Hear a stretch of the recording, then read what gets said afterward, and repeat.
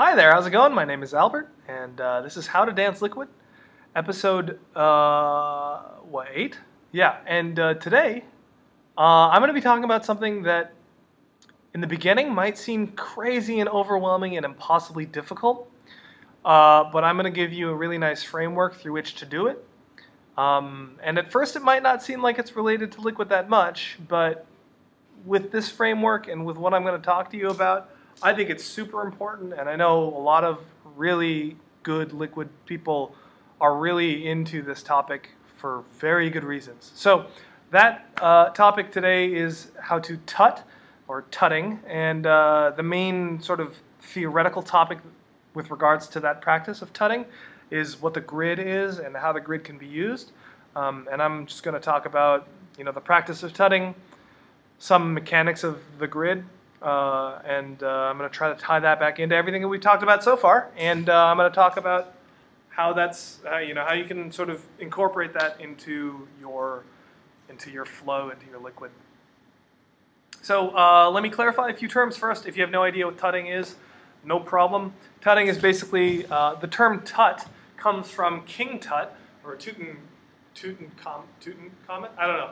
King Tut, you know, the Egyptian god, or Egyptian king way back in the day. And if you look at old Egyptian paintings or whatever, you know, everyone's like walking around at 90 degree angles. So if you, you know, that song, I think it's back in the 80s, Walk Like an Egyptian, and then you got all these people, these goofy, you know, old people just sort of doing a, walking like an Egyptian, right? That's sort of the idea of King Tut, but it's sort of, uh, I'm assuming that the form of tutting has, has is earlier than that particular song because that song is whack.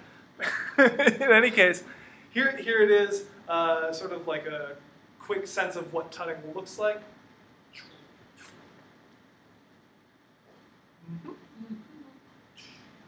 Okay, cool. Uh, and so uh, I can imagine you saying, especially if you're a beginning liquid dancer, how what does that have anything to do with liquid? Um, so I'm going to doesn't matter, you know, just hold on to that question for later. I promise I'll address it. Uh, just put your faith in me and uh, just, I'm going to teach you a very basic understanding of how to get into tutting. Now, one of the problems with tutting that I had, especially as a beginner, was like, you see these sick, sick tutters, and like, when you see sick tutters, your mind gets blown because it's like impossible what they're doing, right?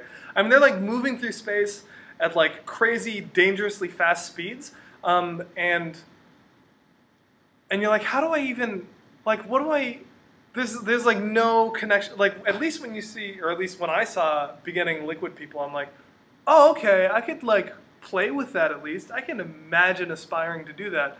But when you see really fast tutters, or really good tutters, you're like, oh my god, there's no way, no way I will ever be that good. Um, and so I would say, first of all, put that fear aside because uh, you can't fixate on that and I had to stop fixating on that. Uh, and, and instead try to learn like a few fundamentals, right? So I, I felt that way for a very long time.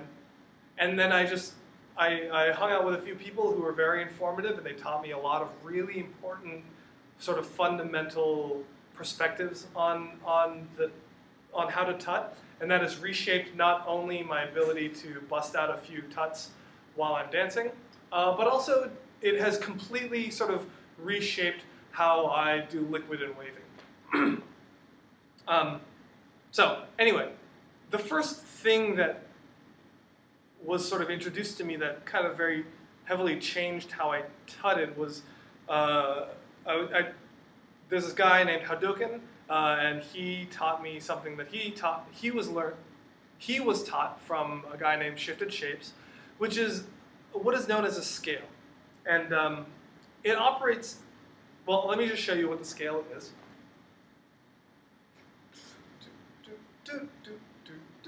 Cool. That's what the scale is. It's just a progression of tuts that goes from here, from here all the way up to here, right? Um, and that progression, you know, I mean, if you just practice this over and over again, that's called practicing your scales, right? And, and I think the idea of it being a scale is super uh, appropriate because I learned piano a long time ago, and when I learned piano, I learned how to, I learned by practicing my scales. And you know, a scale in and of itself, you don't always use it. There are a lot of piano pieces that don't actually have any scales, right? Uh, so you could imagine saying, well, I don't know why I need to practice my scales because like I just want to play this particular song and it doesn't have any scales in it. But really what you're doing is you're just warming up your fingers to get them on a keyboard so that you can get comfortable with moving around up and down in this, on this, on the porcelain, right? I mean, you, in the beginning, you know, when you just encounter a piano for the first time, you have no idea how to handle it. So a scale is a really great way to just familiarize yourself with putting your fingers on the keys and moving sort of, sort of elegantly, right?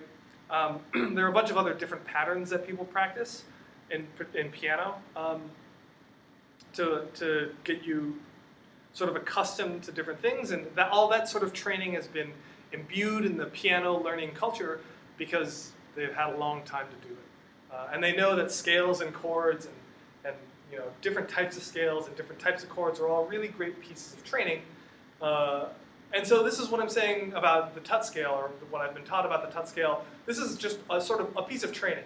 It in itself isn't necessarily dance, but it in itself is the ability to move comfortably through um, through space in what is known as the tut grid.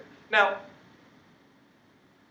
before I continue, I want to touch back really quickly on something I mentioned two episodes ago, and that is the, the idea of proprioception.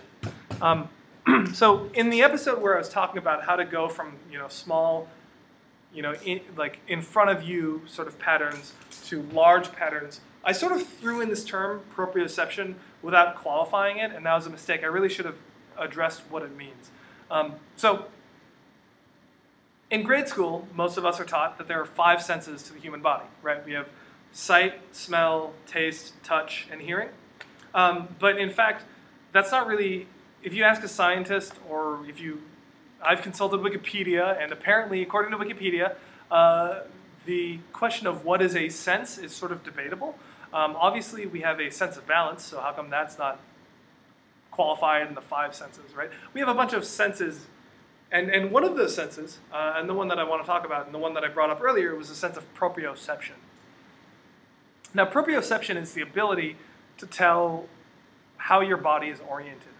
So if you were to knock me out and blindfold me and rub Novocaine all over my body so I couldn't physically feel anything, uh, I'd be able to wake up and tell you kind of roughly how my body is oriented, right? As long as you didn't give me crazy drugs that, that like made me completely space out and do weird things. But for the most part, right, if I have my sense of proprioception, then, you know, when I come to, even though I'm blindfolded and I can't feel anything, uh, you could put cotton in my ears and, and put an apple in my mouth and whatever, like plug my nose. I'd still be able to tell you, yeah, my hands are roughly like a foot apart from each other. Or, um, yeah, like my knee and my elbow, maybe like 18 inches or so, right?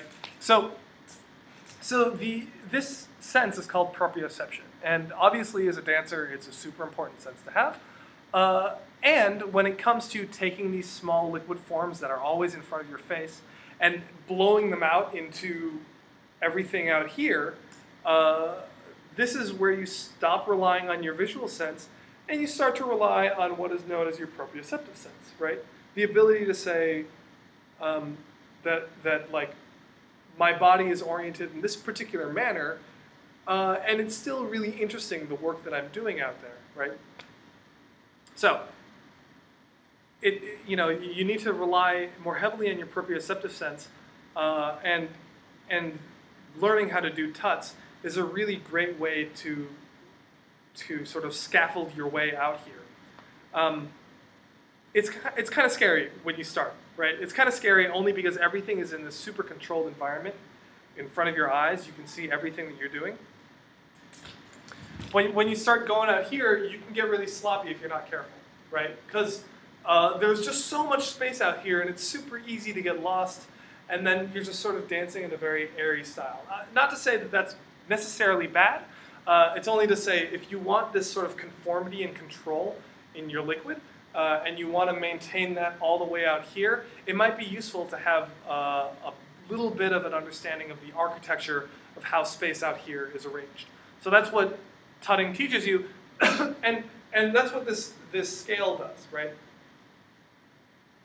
So um, to take a step back from the scale and just to, to sort of cover the theory of, of tutting for a second. Um, the let's see. It, the tut space is often described on a grid. This is known as the grid, uh, and the grid is this. A, a, really great way to think about it is you've got a big piece of graph paper on top of this video that you're looking at. Uh, down here on this video is the origin of the grid. Along here is, is an axis, right? That goes, it's the x-axis, and that's positive, and that's positive y, right? And on this grid, you have little pieces, you have like little lines that sort of divide the grid this way and this way, right? so now you're looking at me through a, a piece of graph paper, um, and what I'm going to do as a tutter is I'm going to fix different joints on my body to those points on that graph paper, right? So now this is this is how we maintain this three dimensionality, or sorry, not the three dimensionality, the the ability to hit all these 90 degree angles. We just practice being on top of this grid all the time. It's really weird, right? It's a weird practice to have. Um, but there are a few tricks that'll help you understand how this grid operates, right? First of all, let's talk about this grid in terms of the unit, right? so on graph paper, usually your units are going to be like four ticks per inch or maybe like five ticks per inch or whatever, or maybe a tick every other every half centimeter. I don't know. In any case,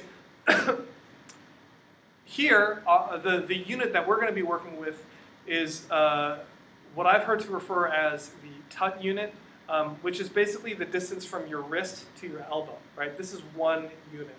Um, if you look at the anatomy of the human body, the distance from the wrist to the elbows is pretty much the same distance from the elbow to the shoulder, right? Um, it's also about twice the distance from your fingertip to your wrist, right? So two hands make up one unit, or one hand makes up half a unit. And also, if you get really nerdy and, and silly, you can say that if this is a full, if this is half a unit, right, then this is a quarter unit, and so is this, right? And also, if you want to get nerdier than that, you can also say that this is an eighth of a unit and this is an eighth of a unit. Um, so yeah, that's that's sort of how the grid sort of operates, and and that means that you have the ability to. Uh, you have the tools now to be able to hit these grid shapes, right? To, to hit on top of what is known as the grid, to sort of snap to grid, uh, and and that ability um, that, you know, that, that ability gives you sort of the confidence to move around out here in three-dimensional space. Now, I say three-dimensional, I use the, the two-dimensional grid as a metaphor, but really another way to think about it is if we took, let's see, actually that might be good. If you look over here in this room, whoa, where do I go here? Okay, yeah, down here we have like these little shoe cubbies that go all the way across. Each one of those are like one unit. Over here we have these like posts. Here's a post, here's a post, here's a post. So this is one dimension, this is another dimension, and this is the third dimension, right, going up and down. So imagine that not only, uh, imagine that the, the third dimension also had tick marks, right? So that's, that's what we imagine in the three-dimensional grid. Uh, so not only you know, not only is there this stuff, but you can also break out and go forward and backward as well. Anyway, so yeah, we, we use this as a way to practice your scales, as a way to traverse on top of this grid, just sort of to get you familiar, and to have a bunch of um, uh, a bunch of little um, yeah, to get you familiar and to, to have a way to traverse through space if you get kind of stuck, right? But really, what, what I think it, it, develops is this sense that, oh, yeah, yeah, yeah. No, I, am definitely on the grid. And then if you sort of do a manipulation and you're like, end up here, you're like, hmm, not quite on the grid. Like, I can kind of feel it, right? Either this has to go down here or up here, and then this needs to like be over here or here, right? It's fine if you're not on the grid as long as you're just sort of aware of it, right? Um, the grid is just sort of like a, a place for you to snap to if you get lost and want a little bit of architecture to help you out. so, this this scale, right? I would say like, why don't you go ahead and, and practice along with me? Uh, I'm just going to count them off. By the way, uh, there are a bunch of different ways or styles that people sort of present these scales. I, I mean, I don't think any of them are. I think I like the one that I do, but I'm not particularly married to it. Um, but it's just sort of how I was taught. Uh, some people have different altera- all, some people have different alterations, but all that's important is that you sort of do something and use it as a way for you to traverse through space. So this scale starts here. I'm just going to count it off. One, two, three, four, five, six, seven, eight, nine, ten, eleven, twelve. Easy, right? Once again, I'm just going to go through the muscle memory motions, just the pure mechanics of it, and then I'm going to talk about a little bit more theory about it. One, two, three, four, five, six, seven, eight, nine, 10, 11, 12. Great. Now, excuse me, a little bit of theory behind this. Uh, the, man, huh. okay. So, here we have, as you traverse through the scale, you're going to notice that you're going to be alternating the fixed point uh, sort of every other time, mostly. So here, my fixed point is going to be my wrist, and I go from here to here, right? So all of my body is static up until my wrist, and my wrist hinges here, right? It doesn't curl across like that. I'm hinging. When I'm in the tut space, I'm always going to be hinging off of my fixed point, right? So here I'm going to be hinging off my wrist. Now I'm going to change my fixed point to my elbow and hinge off of my elbow. So this will just be a hinge off of the elbow, but instead of just doing that, I'm also going to introduce a hinge off of this. so that's just a complicated way of saying my fingertips are always going to be pointing at my at this hip here, right? Fingertips at the hip, fingertips towards the hip, right? Another way to imagine this is this is one corner of a square, this is another corner of a square. Here's a third corner of a square, and here's the fourth corner. And all I'm doing is describing this side and this side the first time. And then I'm describing this side and this side the second time. So here I'm building a square. right? And another and so if you take that model, here is this square underneath my forearm. Now if I the next move in the sequence is to fix on the elbow, or sorry, on the wrist and point upwards. Now the square is above my forearm. And you do the exact same thing as before. You move your forearm to be here and your hand to be like this. We're just describing another square, right? so we're here, one, two, three. So two and three describe the bottom square. So one, two, three. And then four and five describe the top square. Four, five. One, two, three, four, five. Now, the next step would be to, um, uh, instead of hinging, so I'm sort of, so here we go, hinge off the wrist, hinge off the elbow, hinge off the wrist, hinge off the elbow. Now I'm going to hinge off my shoulder, right? And, just, and notice that this sort of goes in a, in a hingy circular path up here. I'm fixing not only my shoulder, it's, well, because I'm fixing my shoulder, I'm also fixing my, my, um, my wrist because it's associated with it. And I also happen to be fixing my fingertips. Sorry, my screen keeps turning off. oh, it's because I took the power out. Great. So, from here to here, I hinge off my, my shoulder. Now I'm going to, you know, I, uh, the way I like to model this is you have this square here, you hinge off the shoulder, and all you're doing is you're preparing to lift this square up to here, right? This square that we described here, right? Or here, I'll do that. Now this square is going to go up here. This square here, right? now, uh, so that's One, two, three, four, five, six. Take the square, move it up. Seven. Now I'm going to describe the opposite square, right? So this is the forearm, the square between my forearm and my head. That's seven, and then eight is the square outside over here. So one, two, three, four, five, six, seven, eight. Now I'm going to hinge off of my shoulder again and use this whole thing is going to say static. Boom.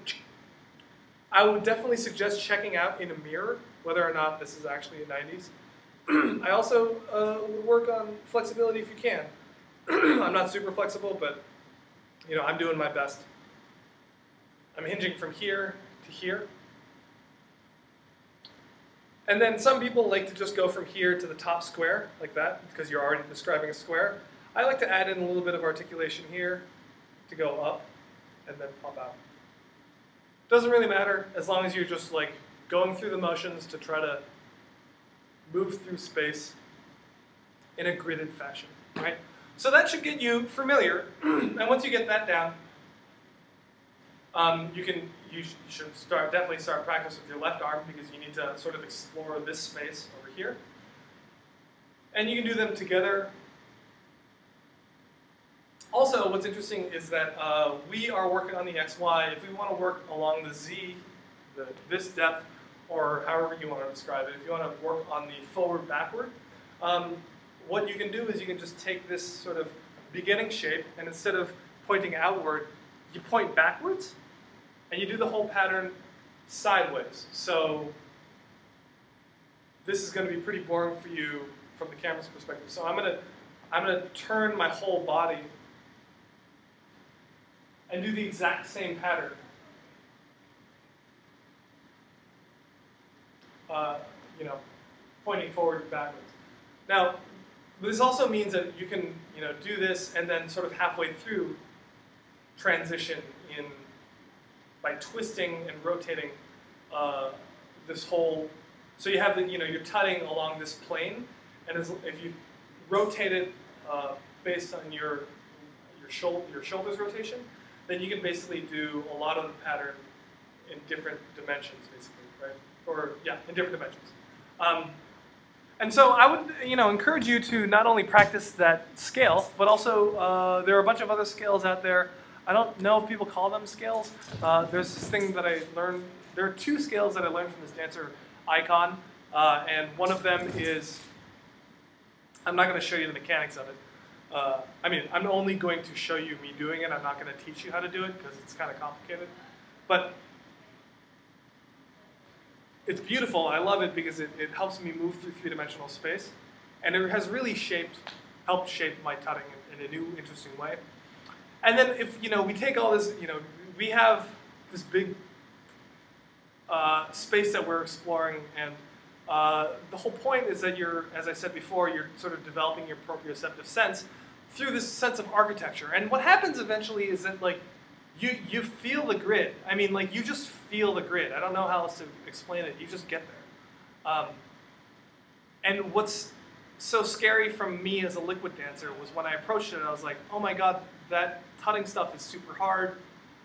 Um, and it's just a completely different learning process. You're not learning necessarily from your eyes. You're learning by what feels like it's on a grid. I mean, it's, it's just a different, it's, it's this proprioceptive sense, and it's just completely different, right? Um, so when you develop that, though, you have this sick tool set, right? Because then that means you can sort of incorporate all the other liquid stuff that you've been doing into this grid space especially when you want to get your liquid out bigger, right? So, for example, um, rails, well, first of all, when you do a rail, there's this good old classic trick called a um, uh, uh, called a trace, I think. Uh, and the idea behind a trace is that you are using a rail to outline the shape of something, right? So here I'm using a rail to outline the shape of my body, right?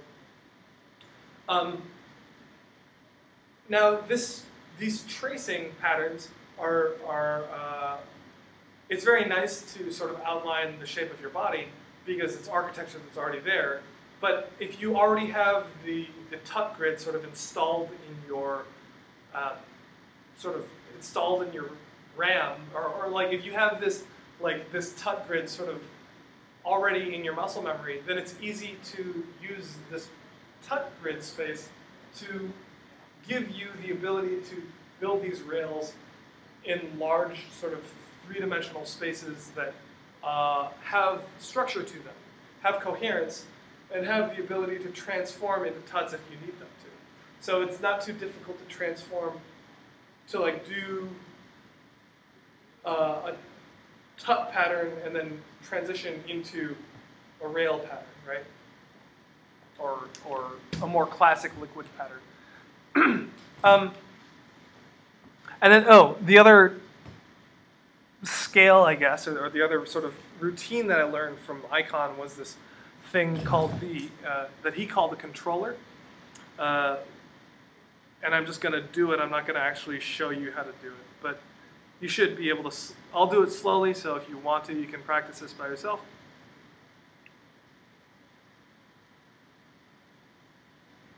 Great. So uh, what's super awesome about this is that now we're exploring like the, the smaller spaces with these tuts. And surprisingly, actually, even though I'm a super visual person, when it gets down here, you still kind of have to rely on your proprioceptive sense. At least this is my experience. You have to rely on a sense that you're actually on a grid. Like you need to. So when you start playing around with different shapes with your hands, um, this this structured approach is super useful because it gives you the ability uh, to say, I'm not lost. I know exactly where I am, right? So this particular pattern here uh, is another um, way to traverse space. That's all it is, right? Uh, and when you sort of get this installed, that means you have interesting uh, spatial traversions. Traversions? You, you have really interesting ways to move around in this space. Uh, and there's another one that I wanted to show you, which was like my, if you take your hand out, uh, each hand is described by an L. So from my fingertip to my, the center of my hand to my thumb tip, uh, there are three individual focal points. And here this hand also has three. And if you notice that now I'm just gonna like trace the fingertip along this L. And now I'm gonna trace my thumb along this L. And this gives you a build, and, and then if you, you know, twist on different focal points, uh, that gives you the ability to do interesting transpositions. You can also you know, twist and rotate and do cool things. There's a lot to be done with that. So what this does is it, you know, it gives you an architecture for your hand. So if you're in the middle of doing like a liquid set and you go into folds, now you have this, you know, this architecture and it gives you like a really nice way to start playing around with space in a way that's structured. Um, I love doing these things. Oops. I don't know who I saw do this first, but it's, it, you know, this is all sort of like based on this grid structure stuff. Uh, you know, once you can snap to these structures, then you can really um, then you can really explore space in, in new, cool ways. Uh, and uh, let's see, I think that's about it. Uh, I think I covered all the things that I wanted to talk about. Um, yeah. Uh, next week, I'm going to talk about popping. Um, our next, you know, next episode, I'm going to talk about popping, and uh, uh, tune in for that if you like what you saw here. please post a comment if you have any questions or, or want to send, if you want me to give you feedback on some video or whatever, hit me up. Like below, you know, click a button or whatever, or subscribe. Tell your friends. Uh, and thanks for tuning in, and uh, hopefully I've helped you become a slightly better dancer. So yeah, take take you know take the tut space, learn the space out here, get familiar with it, and it will uh, enhance all of your liquid, especially if you can't see any of it because it's just too, too big, um, which is where you should be. All right, cheers, peace.